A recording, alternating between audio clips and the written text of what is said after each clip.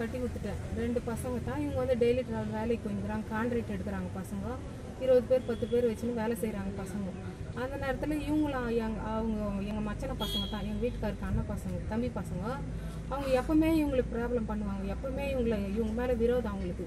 எங்களை வந்து வாழவே விடுறதில்ல. நாங்கள் அந்த இடத்துல இருக்கக்கூடாதுன்ற அளவில் அந்த ஏரியாவில் இருக்கிற பசங்களை எல்லாம் ஒன்றா சேர்த்துக்கின்னு எங்கள் பசங்களை வைக்கக்கூடாது. வெட்டிடணும். இவங்களை அடியோட நம்ம ஒழிச்சிடணும். இந்த இடத்துல வைக்கக்கூடாதுன்ற அளவில் பசங்களெல்லாம் ரொம்ப ப- அந்த இடத்துல இருக்கிறவங்களெல்லாம் வச்சுன்னு எங்கள் பசங்களை மிரட்டுறாங்க.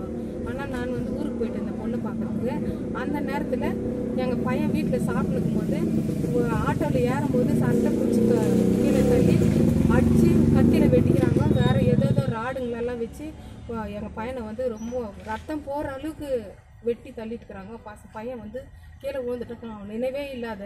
நாங்கள் வந்து அவங்க உயிர் இருக்குதான்னு இல்லாத நாங்கள் அந்தந்த ஹாஸ்பிட்டலுக்கு தூக்கின்னு போய் அலைஞ்சோம். போலீஸ்கிட்டேயும் போனோம். போயிட்டு ரிப்போர்ட் பண்ணிட்டு வந்துக்கிறோம். ஆனால் இன்னும் வரலங்க அவங்க. என்னன்னு எங்களுக்கு தெரியாது. ஆனால் நாங்கள் ஹாஸ்பிட்டல் ஹாஸ்பிட்டலில் எங்கள் பையன் உயிர் வேணுன்றதுனால நாங்கள் தூக்கின்னு தெரிஞ்சு நிற்கிறோங்க ஆனால் நானும் வந்து நாஸ்டா போட்டு வியாபாரம் பண்ணுறேங்க நான். வியாபாரம் பண்ணி எங்கள் வீட்டுக்காரர் நான் போட்டு கொடுக்குறதுல எங்கள் வீட்டுக்காரர் வந்து லைன் லைனாக நாங்கள் தூக்கிட்டு போய் வியாபாரம் பண்ணுறோங்க அந்த அளவில் நாங்கள் கஷ்டப்பட்டு நாங்கள் முன்னேறணும்னு நாங்கள் நினைக்கிறோம். யார் வம்புக்கு போகிறதில்ல என் பிள்ளைங்க வீடு வேலைன்னு இருக்கிறாங்க. அந்த மாதிரி இருக்கிற பிள்ளைங்கள கூட விட மாட்டேன்றாங்க நாங்கள் அந்த இடத்துல எங்களுக்கு ஒரு பாதுகாப்பு வேணும். அதுதான் நாங்கள் கேட்குறோம் போலீஸ் கம்ப்ளைண்ட் பண்ணீங்களா? போயிட்டு எங்களுக்கு யாரும் சப்போர்ட் இல்லைங்க. ஆனால் போலீஸ் போய் கம்ப்ளைண்ட் கொடுத்துட்டு வந்துக்கிறோம் நாங்கள் என்னைக்கு கொடுத்தீங்க? கம்ப்ளைண்ட் கொடுத்தோம். ஆனால் வந்து அவங்க கம்ப்ளைண்ட் எடுத்துக்கல அவங்கள இட்டுனு வா. நாங்கள் கம்ப்ளைண்ட் எடுத்துக்கிறேன்னு சொல்லிட்டாங்க நீ. இட்டுன்னு வேணா யாரை இட்டுன்னு வாண்டாங்க அவங்க ரெண்டு பேர் எங்கள் மச்சன் என்னையும் வீட்டுக்காரையும் இட்டுனு வா.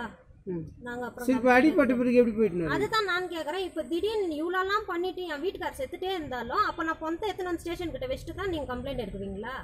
அன்ட்டு நான் இது கேட்குறேன் உள்ள எஃப்ஐஆர் எதுவும் ஃபைல் ஆகல. ஒன்றும் எதுவும் ஆகல. யாரும் இன்ஸ்பெக்டரோ இல்லை ஒரு போலீஸோ யாரும் வந்து ஒன்றும் எழுதல ஸ்டேட்மெண்ட் வரல யாருமே வரல. என்னைக்கு ஆச்சு இந்த இன்சிடென்ட் முந்தின நைட் முந்தின நைட்லேருந்து இன்னைக்கு வரலாம் யாரும் வரல? இன்னும் யாரும் வரல. இந்த இன்சிடென்ட் ஆகி எத்தனை நாள் ஆச்சுங்க? மூணு நாள் மூணு நாள். எப்போ அட்மிட் பண்ணீங்க? முந்தினத்து இங்கே வந்தோம் அன்றைக்கி நைட்டு அன்றைக்கி நைட் வந்து இங்கே எல்லாம் பண்ணால் இங்கே ஆகாதுன்ட்டு அமிச்சிட்டாங்க. இங்கே ஆகாதுன்னு வந்து எஸ்என்ஆர் கொடுத்தாங்க. அங்கேயும் ஆகாது இல்லைம்மா நீங்கள் ஃபஸ்ட்டு ஜாலப்பாக்கிட்டுன்னு போயிடுங்கன்னு வந்தோம் ஜாலப்பால போயிட்டு அங்கே ஜாலப்பால எல்லாம் பார்த்துட்டு எல்லாம் வாங்கி கொடுத்தோம். அங்கே ஸ்டிச்சஸ் எல்லாம் போட்டாங்க. பிளட்டு நிற்கலன்ட்டு நாங்கள் என்ன பண்ணோம்?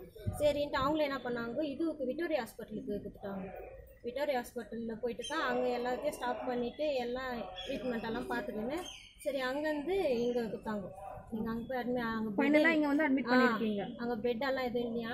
அதனால எமர்ஜென்சி அவரோட கண்டிஷன் எப்படி இருக்குங்க? அவரால் வந்து கால் எதுவுமே நடக்க முடியல. தலை லாஸ் ஆஃப் பிளட் ரொம்ப ஜாஸ்தி போயிட்டு இருக்குங்க. அதனால தலை சுத்துது ஏஞ்சி உட்கார முடியல. சாப்பிட நோவு வாயே திறக்க முடியல. இன்னும் எதுவுமே மூணு சாப்பிடல. நாள் ஆச்சு இன்னும் இது மட்டும் நாங்கள் எதுவுமே அவனுக்கு சாப்பாடு கொடுக்க முடியல. ஜூஸ் தான் கொடுத்துனுக்குறோங்க நாங்கள் அவங்களால எங்களுக்கு ரொம்ப ப்ராப்ளம்? அந்த ப்ராப்ளம் பண்ணுறது யாருங்க? அவங்க ம், அம்மாக்கு மச்சின வீடு. பேர் சொல்லுமா? அவங்க பேர் வந்து ஒருத்தன் பேர் சங்கர் ஒருத்தன் பேர் சோக்கு இன்னொருத்தன் வந்து ஜெயில்ல இருந்து வந்தான் அவன். அவங்க அப்பா அம்மா பேர்? அவங்க அப்பா சங்கர் அவங்க அப்பா பேரு திலீப்ராஜ் ம- மங்கலட்சுமி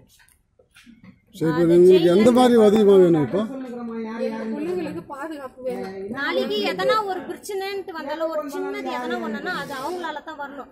இப்போ நாங்க திடீர்னு எங்களை டிஸ்சார்ஜ் பண்ணிட்டாங்கன்னா கூட நாங்க வீட்டுக்கு போறதுக்கு எங்களுக்கு பயமாகுது. அவங்க உயிருக்கு உத்தரவாதம் இல்லை.